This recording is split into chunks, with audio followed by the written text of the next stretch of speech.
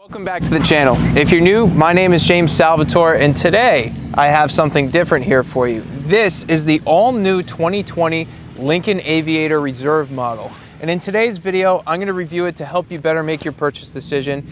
And then I'm gonna take it for a drive and tell you my thoughts on it. But before we get into things, be sure to smash that like button for the YouTube algorithm because it really, really helps to promote the videos. And then subscribe and turn on the bell notification to be alerted when I post my future videos. On the channel, I do everything from new car reviews, new car comparisons, classic cars, exotics. I like to have fun, so be sure to stick around. And with that, cue the cinematic shots.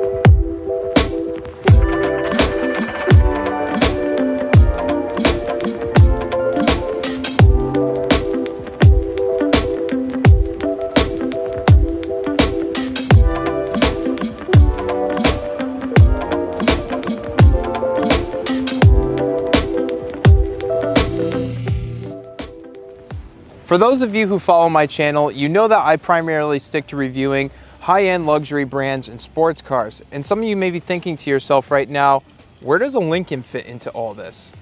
Well, to tell you the truth, a few years ago, it really wouldn't fit into my brand.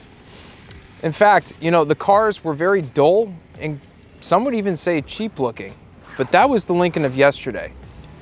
Today's Lincoln is a different story.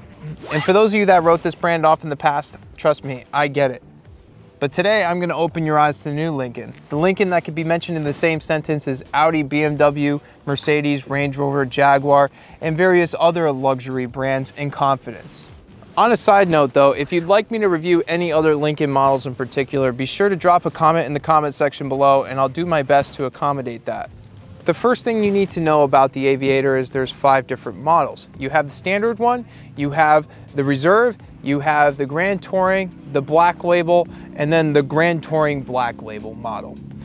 For today's video, we have the Reserve though. First, let's get performance out of the way because it's actually pretty impressive for an SUV. Under the hood, you'll find a 3 liter twin turbocharged V6 that produces 400 horsepower and 415 foot-pounds of torque, and for the Grand Touring models, they add an electric motor to the original powertrain, which ups the power to 494 horsepower and an impressive 630 foot-pounds of torque. Next, I'm going to talk about how practical this car is. And to do that, I'm going to demonstrate rear legroom as well as cargo room in this car. For the first test, I've set up the driver's seat in my comfortable driving position, and I'm gonna see how well I fit behind myself in this car. Okay, getting into the rear of this thing, it's pretty comfortable. You know, I have a decent amount of legroom and headroom in this car is, I would say excellent because you could easily probably fit somebody who's 6'3", 6'4", back here. Now let's take a look at the third row seats. Chances are they probably made them for kids, but I'm gonna try it just for the sake of it. Getting into the third row isn't as bad as I thought, especially with the captain's chairs. Once you get back here though, there really isn't much leg room and you could definitely tell that they designed this for I would definitely say children, but if you had to fit full-size adults back here, it is possible. Now let's move on to the cargo storage. When it comes to getting into the trunk, there's a few different ways. You have the comfort access feature where you wave your foot underneath the trunk and it opens, or you have the button right here to do it. As long as you have the key fob in your pocket, it'll open right up. Okay, as you can see, there's a fair amount of space down here. You could definitely fit some groceries and whatnot in there while having people in the third row seat. But if you need more storage, it's really easy to put down the seats. All you have to do is hit these buttons and they go down automatically. And if you need to put them back up, all you have to do is click the center button and it'll lift them both or lower them both at the same time. Very convenient. I like it. They did it well. Now let's take a look at the interior of this car and first discuss build quality because, you know, for a lot of you, you're probably wondering how well this stacks up against German auto luxury brands. And I would say finally that this stacks up very nice. the first thing that you're greeted by is this nice high quality driver's information center and this nice large multi-touch infotainment system here. It's Sync 3, it's their newest system and it allows the ability to have Apple CarPlay and Android Auto.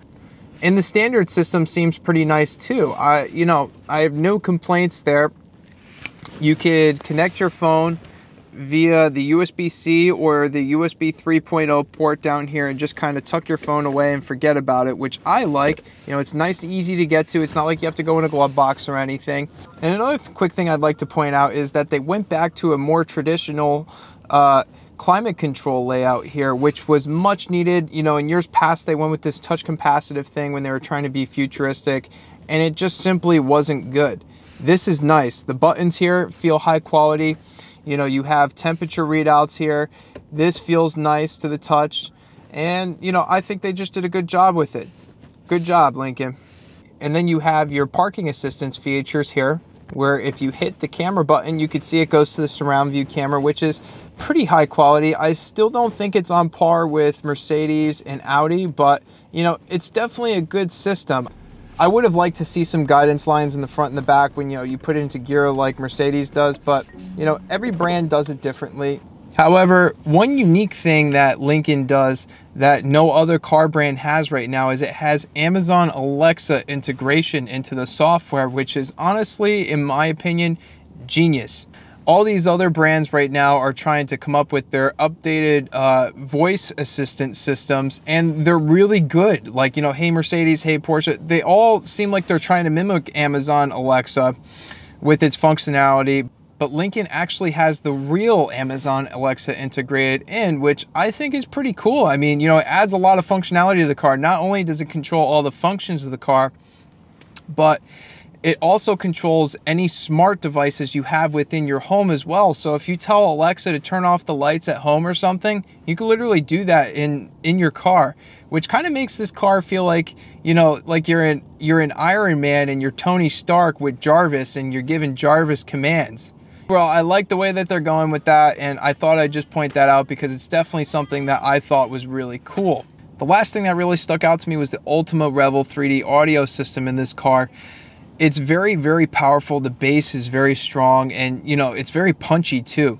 Kind of reminds me of the Burmester 3D high-end surround sound system and the AMG GT that I reviewed a few months back it's it's just a really nice system and if you love listening to music loud like I do you'll definitely appreciate it but you know enough about the technology in this car let's see how it drives all right getting into this thing my first impressions are really good it's quiet it's refined, and with this active air suspension, the ride is very flat and composed.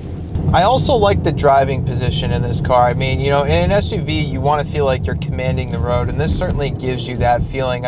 I feel that they really paid close attention to the touch points in this car. You know, everywhere that you touch, look, and, you know, feel is covered by leather, and the steering wheel in this car is covered by Nappa leather, so it's nice and soft and has a really nice premium feel to it. You do feel like you're in a big car. You know, this doesn't this doesn't feel small, but to me that's not necessarily a bad thing. And with these crazy super adjustable seats, I mean, honestly at this point everybody's probably seen the commercials by now, but they're actually really cool having experienced them for the first time. I mean, I even have an adjustment for my upper back to be more upright, and for me that actually is making me a lot more comfortable in this car this car has a very distinct different feel from uh, other German competitors. You know, this car, you know, feels composed and it corners very flat and it gives you the confidence that you need to go around turns at a decent speed.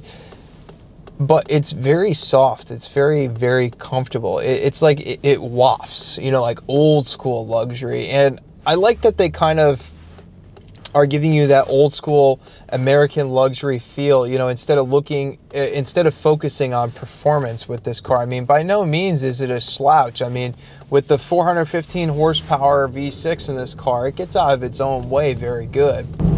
I like how smooth the power delivery is in this car.